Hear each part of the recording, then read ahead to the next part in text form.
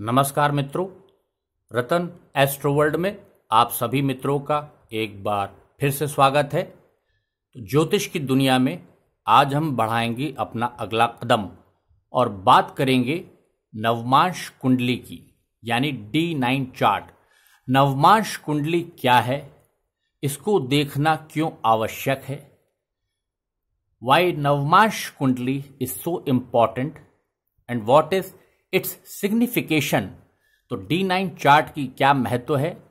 और एस्ट्रोलॉजी में हम लग्न चार्ट के बाद, यानी डी वन चार्ट के बाद डी नाइन चार्ट को क्यों स्टडी करते हैं? किस लिए स्टडी करते हैं? ये लग्न चार्ट के किस भाव की इन डेप्थ स्टडी या डीप स्टडी कह सकते हैं? किस भाव की ये एनालिसिस करता है? इसके बारे में हम आज के वीडियो में जानेंगे। इससे पहले हम बात को आगे बढ़ाएँ।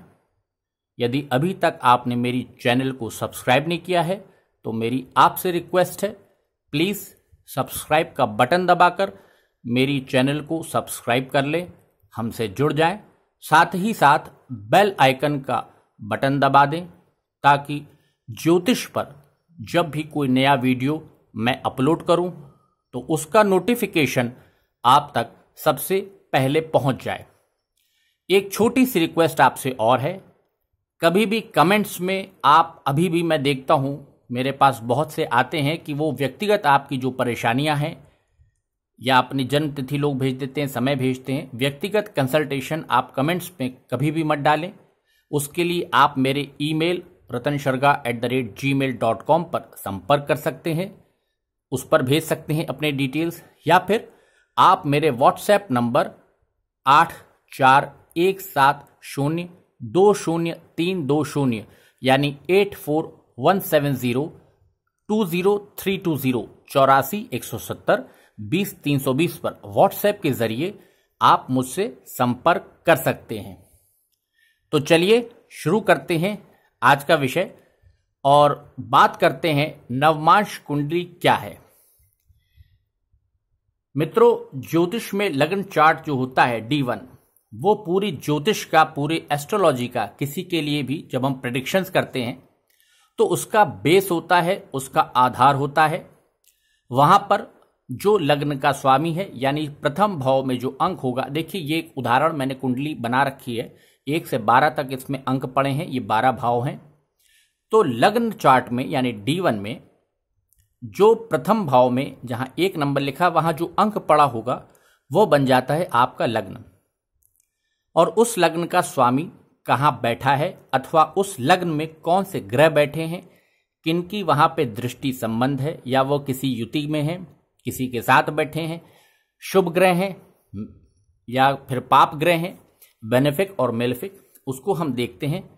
और जब डी नाइन चार्ट की बात होती है, यानी कि नवमांश कुंडली की तो नवमांश कुंडली देखिए, एक डिविजनल चार्ट है। डी मतलब डिवीज़न और डी नाइन मतलब जब एक साइन को हम वन बाई नाइन में डिवाइड करते हैं तो हमें मिलता है डी नाइन चार्ट। देखिए, हर साइन थर्टी डिग्री का होता है और पूरी कुंडली जो है, बारह भाव तीन सौ साठ डिग्री का थ्री सिक्सटी डिग्री का ये होराइजन है, जो हमारे ऊपर अंतरिक्ष में ग्रह बैठे हैं, उनकी मौजूदगी जो है उस हिसाब से कुंडली में उसका प्लेसमेंट होता है। तो डी नाइन लग्न चार्ट के बाद नवमान चार्ट, एक साइन का एक बटा नौ जो डिवीज़न है, वो है। और उसमें देखते हैं कि ग्रहों की प्लेसमेंट कि जो ग्रह लग्न में आपके बैठे थे, वो नवमांश में कहाँ पर बैठे हैं, कहाँ पर स्थित हैं। तो डी नाइन चार्ट जो है, ये डिविजनल चार्ट है और ये इंडेप्थ स्टडी है आपके कुंडली के सेवेंथ हाउस की। सातवां भाव, यानी विवाह का भाव, शादी का भाव पार्टनरशिप का भाव तो सेवेंथ हाउस की जो डिटेल्ड स्टडी है, वो हम देखते हैं डी नाइन में।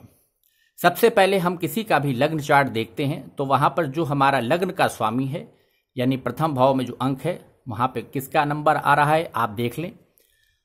उसका और सातवें भाव के स्वामी का आपस में क्या संबंध है, वो हम देखते हैं। सेवेंथ हाउस का जो लॉर्ड है, यानी सातवें भाव का मालिक, वो कहाँ बैठा है साथ ही साथ, देखिए फिफ्थ हाउस जो है लव और रोमांस का होता है चाइल्ड का होता है। उसके वहाँ से फिफ्थ हाउस की और सेवेंथ हाउस की रिलेशनशिप क्या है? कोई वहाँ पे अगर मेलिफिक है, कोई पाप ग्रह बैठा है, उसकी दृष्टि आ रही है यदि सातवें भाव पे तो परेशानी होगी। अब उसी चीज़ को आगे इन डेप्थ स्टडी करने के लिए फर्दर हम डी नाइन चार्ट यानी नवमांश कुंडली देखते हैं। नवमांश कुंडली में तीन ग्रह बहुत महत्वपूर्ण हैं, जिन पे आपको लग्न कुंडली में भी ध्यान देना है और उनकी स्थिति को आपको डी नाइन चार्ट में भी ध्यान से देखना है। पहला ग्रह है गुरु, यानी बृहस्पति देव जुपिटर मेल या फीमेल किसी की भी कुंडली हो, या वो पुरुष हो, या स्त्री हो, सबसे पहले आपको गुरु की पोजीशन देखनी है, लग्न में कहा है और नवमाश में कहा है।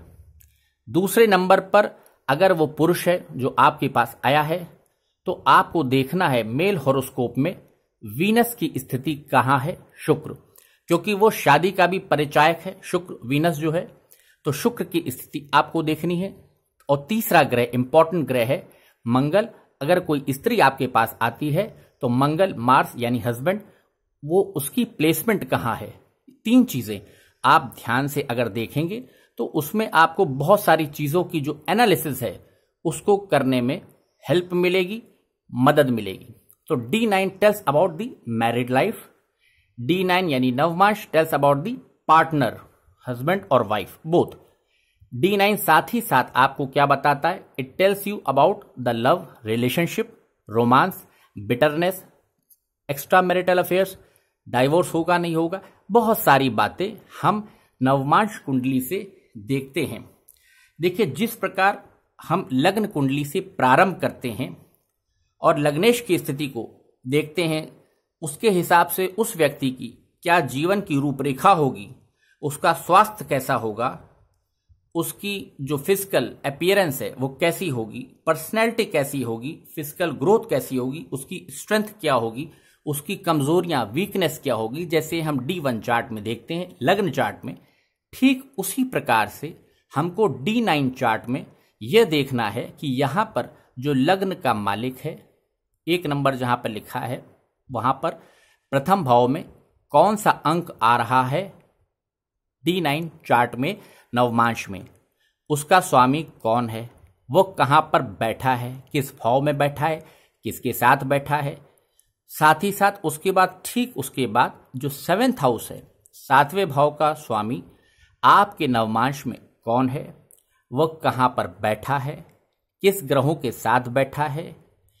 उसको देखते हैं। साथ ही साथ आप फिफ्थ हाउस की भी स्टडी कर सकते हैं। लव एंड रोमांस के लिए कि फिफ्थ हाउस और सेवेंथ हाउस में आपस में क्या रिलेशनशिप निकल के आ रही है। इतनी चीज़ों से आपको यदि शुभ ग्रह बैठे हैं, गुरु उच्च का है, शुक्र बहुत अच्छा वेल प्लेस है तो समझ लीजिए जीवन साथी बहुत अच्छा होगा। लाइफ, जो मैरिड लाइफ है, वैवाहिक जीवन सुखी होगा। किसी भी बुरे ग्रह की, पाप ग्रह की, मारक ग्रह की दृष्टि सातवें भाव पे नहीं पड़ रही है या वहाँ नहीं बैठा है, केतु हो, शनिदेव हो, कोई भी। तो समझिए, जीवन हर्डल्स नहीं आएँगी उसकी मैरिड लाइफ में, वैवाहिक जीवन स्मूथ चलेगा। और एक चीज़ और है कि लगन कुंडली और नवमांश कुंडली में यदि राशि, चंद्रमा से राशि बनती देखी, चंद्रमा एक ही राशि का है यानी नवमांश में और उससे पहले लगन चार्ट में तो महर्षि पाराशर ने भी ये चीज़ को बताया है कि यदि किसी व्यक्ति की लग्न कुंडली में और नवमांश कुंडली में एक ही राशि हो तो वहाँ पे वो जो नवमांश चार्ट होता है, वो वर्गोत्तम नवमांश बन जाता है। जो वर्गोत्तम नवमांश होता है यानी डी नाइन वो बहुत ही शुभकारी होता है। उससे किसी का भी अगर इस प्रकार का नवमांश चार्ट बन रहा है, जहाँ पर राशि परिवर्तन नहीं हुआ है तो वो बहुत लकी, बहुत भाग्यशाली इंसान माना जाता है उस व्यक्ति को, क्योंकि वो बन जाता है वर्गोत्तम नवमांश।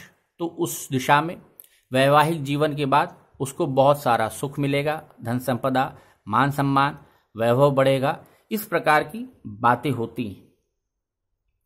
अब हम जानते हैं डी नाइन चार्ट, जो नवमांश चार्ट है वो हमारी लग्न कुंडली के सेवेंथ हाउस का फुल एनालिसिस है इन डेप्थ एनालिसिस अब यदि यहाँ पर हम नवमांश चार्ट में देखें, जैसे कोई आपके पास आए और पूछे कि भाई पंडित जी, मेरी बेटी का विवाह जल्दी होगा या लेट मैरिज है, वैवाहिक जीवन कैसा होगा?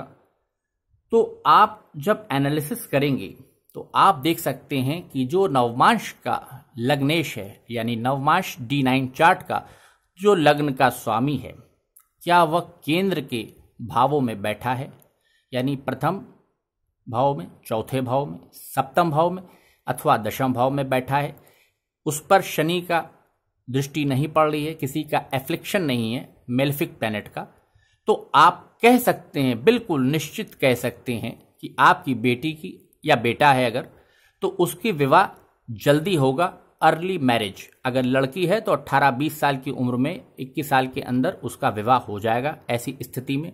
और अगर लड़का है तो मान के चलिए 24, 25, 26 में एक अर्ली मैरिज हो जाएगी। हालाँकि अब शहरों में अर्बन लाइफ में लोग मैरिज बहुत डिले हो रहा है आजकल। शादी में विलंब हो रहा है लोग पहले कमाते हैं फिर थोड़ा सा पैसा बचाते हैं। उसके बाद तीस इकतीस साल बत्तीस साल पर जाकर कहीं शादियाँ हो रही हैं। परंतु अगर नवमांश कुंडली में किसी लड़के का या लड़की का लग्नेश केंद्र के भाव में बैठा है तो अर्ली मैरिज का प्रडिक्शन आप बहुत आराम से कर सकते हैं। अब यदि सप्तम भाव पे शनि की दृष्टि है या शनि बैठे हैं नवमांश में तो लेट मैरिज मैरिज में डिले होगा, बिल्कुल देर से विवाह होगा लेट मैरिज होगी। इसी प्रकार यदि सप्तम भाव के आगे और पीछे के भावों में मेल ग्रह बैठे हैं तो फिर समझ लीजिए शादी नहीं होगी, ऐसी स्थिति में वह व्यक्ति अविवाहित रहेगा। उसके और भी बहुत से कारण हैं, और भी चीज़ें देख सकते हैं आप, लग्न चार्ट में और वहाँ पे स्टडी करनी पड़ती नवमांश में। मैं एक मोटी मोटी आपको बहुत सामान्य भाषा में एक ब्रीफ एक आउटलाइन दे रहा हूँ कि आपको डी नाइन चार्ट में क्या क्या देखना है। प्रथम भाव फ़र्स्ट हाउस लग्न, कौन है? लॉर्ड उसका। और सेवेंथ हाउस लॉर्ड कौन है? उन दोनों का आपस में संबंध क्या मित्र का है? शत्रुता है अथवा न्यूट्रल है? ये देखना है। लग्नेश का और सप्तम भाव का जो स्वामी है, उसका प्लेसमेंट क्या कहीं त्रिक भाव में तो नहीं है? सिक्स एट्थ और ट्वेल्थ हाउस में वो देखना है उसका प्लेसमेंट या वो किसी मेलिफिक के साथ कोई दोष बना रहा हो, ग्रहण दोष बन रहा हो या अंगारक दोष है, गुरु चंडाल दोष है, कोई भी दोष बन रहा हो, आपको उस चीज़ को ध्यान देना है। अगर कोई शुभ ग्रह हैं बेनिफिक प्लैनेट्स हैं फ़र्स्ट हाउस में और सेवेंथ हाउस में, या उनकी दृष्टि सेवेंथ हाउस पर पड़ रही है, किसी शुभ ग्रहों की बेनिफिक्स की, उस चीज़ को आपको नोट कर लेना है। और एक साथ ही साथ बात और बहुत इंपॉर्टेंट होती है नवमांश चार्ट की, कि डी वन चार्ट में, यानी कि लग्न चार्ट में, यदि कोई ग्रह नीच की राशि में बैठा है और नवमांश चार्ट में वही ग्रह अपने उच्च की राशि में बैठा है, यानी planet in debilitation in D one chart and if the same planet is in exaltation in D nine chart तो वहाँ पर उस ग्रह का नीच भंग हो जाता है और वो बन जाता है नीच भंग राजयोग।